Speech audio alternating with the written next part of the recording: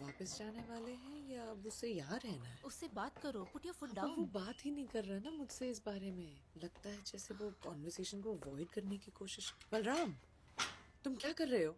अदरक वाला चाय मैडम? तुम्हारा हाथ।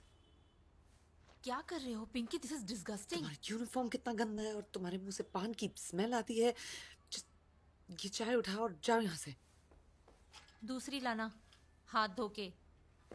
ये ऐसा कभी नहीं करता है। आई एम सो सॉरी इस टाइप के लोग ऐसे ही होते हैं पिंकी आती रहना ओके okay? हाँ अशोक से बात करना हाँ, ओके हाँ, करती बाय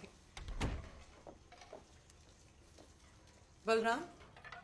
जी मैडम। यहाँ प्लीज़ यहाँ।